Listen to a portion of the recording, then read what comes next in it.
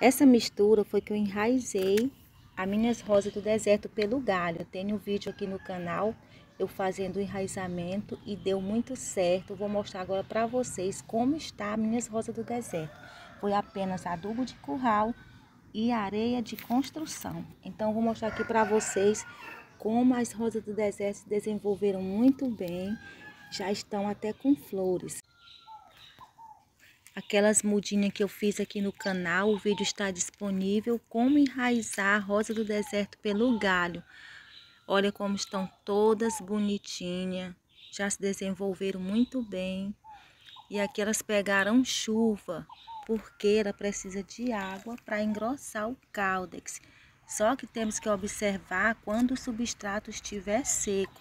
Água demais também não faz bem, mas a rosa do deserto, ela gosta de água para que ela possa engrossar o cáldex. Só que, como eu falei, a gente tem que observar quando o substrato estiver seco, porque excesso de água pode causar podridão das raízes. E aqui, essas daqui já nasceram flores. Olha aqui a cozinha da flor. Essa daqui também. Olha o buquê de flores, como está tão bonito. Então, gente, a misturinha que eu fiz aqui foi muito fácil para que ela pegasse pelo galho, que ela enraizasse.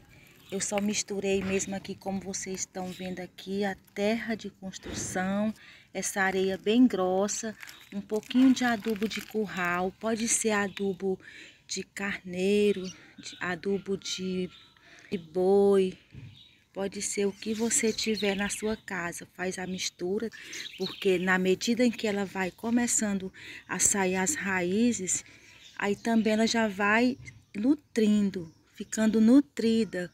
Por isso que eu coloco também um pouquinho de adubo. Então, gente, olha como se desenvolveu, está muito linda. E elas pegaram chuva, porque a chuva também faz muito bem, porque como sabemos que a chuva ela vem na composição dela, nitrogênio, as plantas ficam bem bonitas, ficam verdes. Só que não foi chuva muito forte. Estão pegando o sol aqui.